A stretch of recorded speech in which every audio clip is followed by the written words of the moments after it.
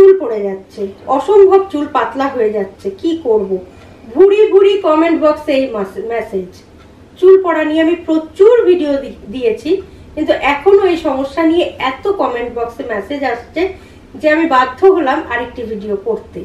তো আজকের বিষয় হচ্ছে, পাতলা চুল কীভাবে ঠিক করবেন বা চুল পড়া কীভাবে রোধ করবেন? বলব, কিন্তু তার আগে বলি, নমস্কার, আমি গৈরিকা, কলকাতা ক্যানভাসে আপনাকে স্বাগত জানাই। আপনি যদি এখনও এই পরিবারের একজন না হয়ে থাকেন, তাহলে প্লিজ সাবস্ক্রাইব করে নিন কলকাতা ক্যানভাস পাশে বেল আইকন রয়েছে প্রেস করে অন করে নিন, তাহলে নতুন ভিডিও আপলোড হওয়ার সঙ্গে সঙ্গে নোটিফিকেশন পৌঁছে যাবে আপনার কাছে। আরেকটি কথা ফেসবুকে কলকাতা ক্যানভাস কিন্তু একটি পেজ ওপেন করেছে, আপনি চাইলে ফলো করতে পারেন, তার লিঙ্কটা নিচের ডেসক্রিপশনে দেওয়া রয়েছে। এবার বলি, চুল পাতলা কীভাবে ঠিক করবেন বা চুল পড়া কীভাবে বন্ধ করবেন, দুটো একই। চুল যদি পড়া আপনার বন্ধ হয়, তাহলেই কিন্তু আর পাতলা ভাবটা থাকবে না।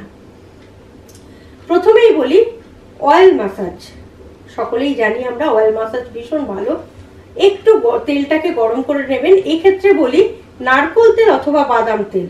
এই দুটোর মধ্যে যে কোনো একটা দিয়ে কিন্তু এই মাসাজটা করবেন। তেলটা হালকা গরম করে নেবেন। নিয়ে আঙুলের এই ডগাটা দিয়ে ভালো করে গোড়ায়, চুলের গোড়ায় ভালো করে মাসাজ করবেন। মোটামুটি ধরুন পনেরো থেকে কুড়ি মিনিট ভালো করে মাসাজ করবেন যাতে তেলটা শুষে নেয়। এতে আপনার চুলের যে পাতলা ভাবটা, কারণ চুল পড়াটা রোধ করবে, কারণ রক্ত চলাচলটা অত্যন্ত ভালো হয়, ফলে আপনার শেকড়টাও অনেক শক্ত হয়, যার জন্য আপনার চুল পড়া কিন্তু অনেক কমে যাবে। আর কমে যাওয়া মানেই চুল পাতলা ভাবটাও আপনার কেটে যাবে। পেঁয়াজের রস, এটা আমরা জানি যে চুলের পক্ষে ভালো। কেন ভালো সেটা একটু বলে নিই। পেঁয়াজের মধ্যে থাকে সালফার। এইটা এই, যেই জিনিসটা এই সালফারটার জন্য আপনার চুল কিন্তু বৃদ্ধি করতে সাহায্য করবে এবং চুল পড়াটা বন্ধ করবে। এছাড়াও অ্যান্টিব্যাকটেরিয়া থাকার দরুন এই আপনার যে মাথার মধ্যে বা স্কাল্পের কোনো ত্বকে কোনো রকম কি বলব কোনো রকম সমস্যা বা কোনো রকম রোগ তৈরি হতে দেবে না। পেঁয়াজের রস যদি আপনি স্কাল্পের মধ্যে চুলের গোড়াগুলোতে ভালো করে একটু দিয়ে রাখেন, তাহলে আপনার চুলের গোড়াকে অনেক শক্ত করবে, রক্ত সঞ্চালনটা, ত্বকের রক্ত সঞ্চালনটা ভালো করবে, যার দরুন কিন্তু আপনি সাত থেকে আট দিনের মধ্যেই বুঝতে পারবেন যে পেঁয়াজের রস আপনার চুলে কতটা উপকারী। সবুজ চা মানে গ্রিন টি। গ্রিন টি আপনি ইউজ করতে পারেন চুল পড়ার জন্য। তার কারণ হচ্ছে এটা এক অ্যান্টি অক্সিডেন্ট থাকে এটা, যার জন্য আপনার চুল পড়া কিন্তু বন্ধ করবে। আপনি একটু হালকা গরম গ্রিন টি নিলেন, সেইটা ভালো করে মাথায় মাসাজ করলেন। করে ভালো করে ধুয়ে নেবেন। কিছুক্ষণ মাসাজ করে ভালো করে লাগিয়ে নিলেন চুলের গোড়াগুলোয় নিয়ে ভালো করে আবার ধুয়ে নেবেন চুলটাকে। এভাবেও কিন্তু আপনি চুলের পড়া রোধ করতে পারেন। সবুজ চা বা গ্রিন টি, যাই বলুন না কেন, এটাও কিন্তু চুল পড়া রোধ করে। কারণ গ্রিন টির মধ্যে অ্যান্টিঅক্সিডেন্ট থাকে, যেটা আপনার চুলের গোড়াকে শক্ত করে, চুল পড়াকে বন্ধ করে। আপনি এক কাপ জলের মধ্যে, জলটাকে হালকা করে গরম করুন, তার মধ্যে দুই ব্যাগ গ্রিন টি টি ব্যাগগুলো যে পাওয়া যায়, দুই ব্যাগ গ্রিন টি মিশিয়ে নিলেন, মিশিয়ে নিয়ে সেইটা ভালো করে মাথায় লাগান। লাগিয়ে এক ঘণ্টা মতো বসে থাকুন, তারপরে ভালো করে চুলটা ধুয়ে নিন। এভাবেও কিন্তু আপনি চুল পড়াকে বন্ধ করতে পারেন। চুল আমাদের কেন পড়ে যায় সেটা আগে জানতে হবে। চুল পড়ে যাওয়ার প্রধান কারণটাই হচ্ছে আপনার শরীরে ভিটামিন সি এর অভাব আছে।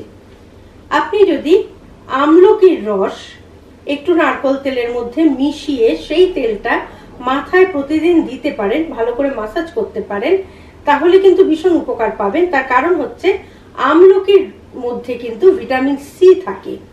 শরীরের কোনো যদি ভিটামিন সি এর ঘাটতি থাকে, সেক্ষেত্রেও কিন্তু আপনি আমলকি, কাঁচা আমলকি খেতে পারেন।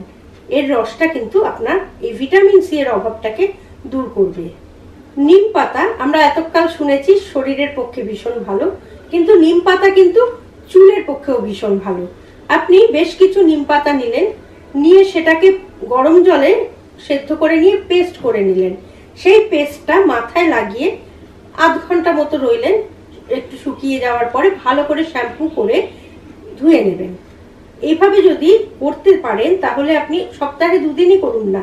মোটামুটি তিন থেকে চার সপ্তাহের মধ্যে আপনি বুঝতে পারবেন, আপনার চুল পড়া কিন্তু অনেকটাই কমে গিয়েছে। ডিমের সাদা অংশ আমাদের চুলের পক্ষে ভীষণ ভালো, এটা আমরা জানি। যার জন্য মেহেন্দি করতে গেলে আমরা ডিমের সাদা অংশ দিয়ে দিতে বলি, মেহেন্দিতে। তো এই ডিমের দুটো দুটো ডিম নিলেন, দুটো ডিমের সাদা অংশ ভেঙে সাদা অংশটুকু নেবেন, সেটাকে একটু পেস্ট মতো গুলিয়ে নিলেন, নিয়ে সেই পেস্টটা আপনি মাথায় লাগান, লাগিয়ে তিরিশ মিনিটের মতো বসে থাকুন। তারপর ভালো করে শ্যাম্পু করে কিন্তু অবশ্যই জল দিয়ে শ্যাম্পু করে চুলটা ধুয়ে নেবেন। তাহলে কিন্তু আপনার চুল পড়া অনেকটাই কমবে। এটাও আপনি সপ্তাহে দুদিন করতে পারেন, স্নানের আগে অবশ্যই।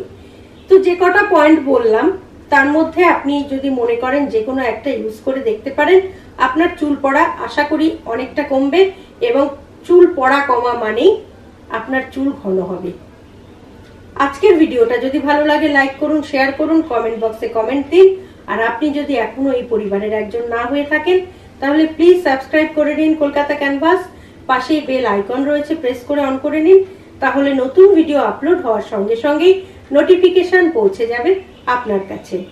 ভালো থাকুন সুন্দর চুলের অধিকারী হন। নমস্কার।